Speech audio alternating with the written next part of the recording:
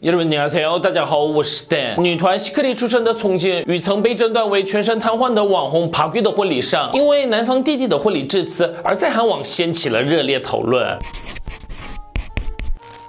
宋茜与 Park 于十月九号在首尔江南举行了婚礼，在众多宾客的出席下，由艺人全元姆担任司仪，歌手朴智恩和尹素妮献唱了祝歌，而 Park 的弟弟为两人朗读了祝词。以下是 Park 在自己的 YouTube 频道上传的影片内容。十年前，我哥因为一场意外事故被诊断为全身瘫痪，我们全家当时面临着极大的困难，在加护病房，哥哥总是微笑着迎接来探视的客人。等到三十分钟的接见时间快要结束，轮到我时，哥哥已经精疲力尽的迎接。接我，我感到非常悲伤，但我不能哭，因为我是拥有全身瘫痪儿子的父母的二十五岁儿子。尽管我不常表露出来，但我一直担心，如果哥哥需要帮忙的时候，我该怎么办？就在这时，我的嫂子出现了。不久前，哥哥和嫂子一起在健身房运动时，因为用力过度，结果释放出一些有气味的东西。当时哥哥问齐恩娜有没有闻到一点味道，嫂子微笑着回答有一点点，不过不用担心。哥先从一轮椅上移到别的地方，如果有问题我会处理的。这时。爬玉的弟弟做了用鼻子闻味道的动作，我这辈子从来没听过这么令人安心的声音。听到嫂子这么说，我终于可以放下对哥哥的牵挂了。现在我要把哥哥交给这位值得信赖的嫂子。齐乌呀，对你来说障碍是什么？我会回答，他是把我们家紧紧联系在一起的坚固纽带。我哥用这根坚固的纽带把嫂子也紧紧的绑在一起了。嫂子，谢谢你成为我的家人。哥哥，真心祝你新婚快乐。这段结婚影片公开后，在韩网马上就引起了争议。有些人认为。这段祝词没有顾及到重庆家人的感受，让人感到不适。也有人认为这不应该是第三方评论的事情。我们来看一下韩国网友们的反应，好像不是在找一个终生伴侣，反而像是在为哥哥找一个看护一样的致辞，真是太让人震惊了。我看到评论才去看发生了什么，但在婚礼的致辞上，真的有必要这么直白的谈论现实吗？虽然这些不是第三者需要插嘴的问题，但弟弟的祝词真的是最糟的，既没有趣味，也没有感动。我看了只觉得那只是分享新娘性格好，对新郎。照顾有加的故事，整体就是在表达感谢新娘的意思。大家好像有点过度解读了。婚姻是彼此成为对方的守护者，新郎这方的意思是感谢新娘成为他们家庭的守护者。新娘父母的心情肯定是百感交集，难以用言语形容。婚礼现场聚集了新娘的亲戚、父母的朋友、新娘多年的好友，这样的场合居然讲出那样的话，完全没有对新娘的尊重。爬龟的 YouTube 频道本来的主旨就是想展现残疾并不会对生活造成太大障碍，因此可以频繁的结婚，这才是感人的地方。但他这样。这样说反而让人觉得残障人士和他们的家人生活并不容易。说什么被残疾这条绳子绑住，到底是什么意思啊？我大概明白为什么会引发争议了。不仅是那些话不必要，还有模仿闻味道的动作，这真的有点不妥。这种内容不太适合作为婚礼祝词，真的让人感到不适。说到底，婚礼祝词这件事真的值得闹得这么大的争议吗？就算祝词有点不合适，也应该能就这么过去吧。两个人因为相爱才结婚，当事人自己也没提出问题，为什么大家要这么激烈的讨论？我也搞不懂这到底是为了谁？这样的争议对。当事人来说，反而可能会带来更多的伤害。我对祝词本身没什么意见，但既然他们选择公开到 YouTube 上，大家自然有权表达自己的看法。既然不是当做私事保留，而是公开在网络上，那别人讨论也是正常的。如果不希望他人议论，就不该将它公开在 YouTube 上。即便如此，新娘还是选择和他结婚。或许他只是身体不便，但对新娘来说，情感上可能是非常大的支柱。只要他们幸福就好，祝他们幸福吧。